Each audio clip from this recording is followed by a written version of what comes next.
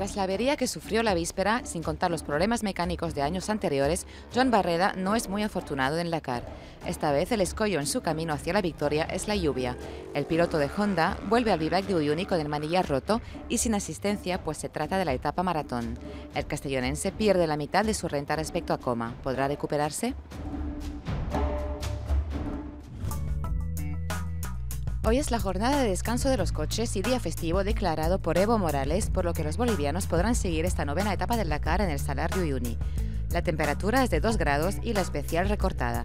Las condiciones extremas a 3.800 metros de altitud no han desestabilizado a Pablo Quintanilla, ganador de la etapa. En cambio, se acabaron las esperanzas de victoria final para Joan Barreda. Marc Coma toma el mando de la general.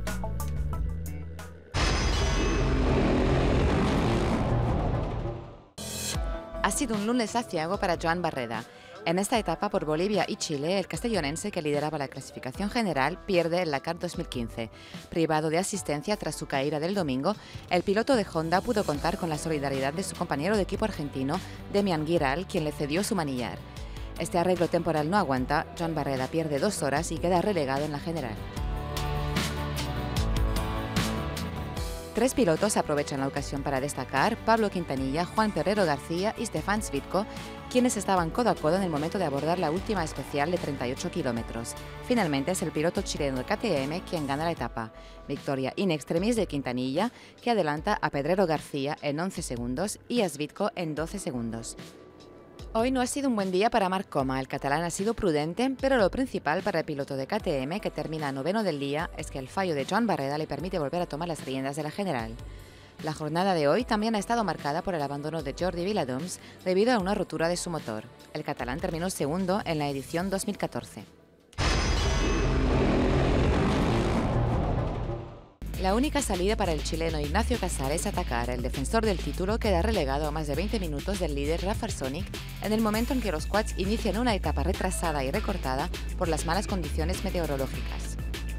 Para el regreso a su tierra, Casale lanza la ofensiva, cruza en cabeza todos los puntos de paso, recorta casi media hora a su gran rival y vuelve a tomar el mando que perdió al final de la tercera etapa. Rafael Sonic, que ha participado en todas las ediciones desde 2009, todavía está esperando su primer triunfo. Sin embargo, hoy el polaco no es tan eficaz en el pilotaje y termina solo en el octavo puesto, su peor clasificación desde la salida de Buenos Aires. Pero al igual que la víspera, los dos mejores pilotos del elenco pierden protagonismo para la victoria de etapa. Jeremías González Cerioli, novato en este Dakar 2015, demuestra que hay que contar con él. El joven argentino de 19 años, que la víspera terminó en el puesto número 17, sigue aprendiendo. Su habilidad en los últimos 40 kilómetros de especial le permite realizar el primer mejor tiempo de su carrera, que sin duda no será el último.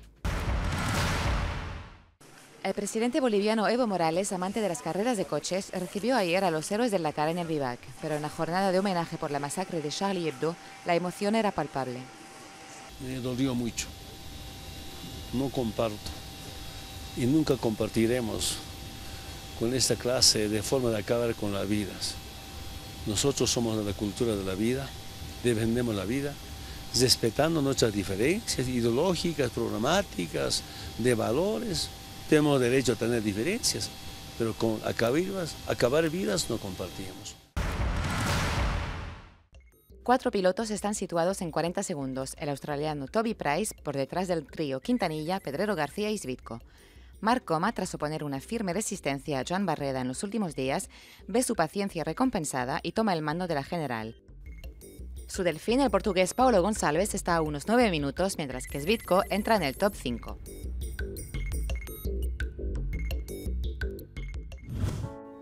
Después de tres días alrededor de Iquique, la carpa del Dakar pone rumbo a Calama, primera escala en la larga bajada hacia Buenos Aires.